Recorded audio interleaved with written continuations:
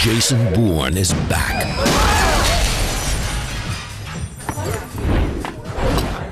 And they're still after him.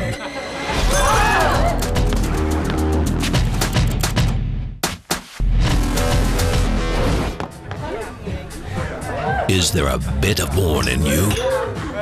Go to bitofbourne.com and find out.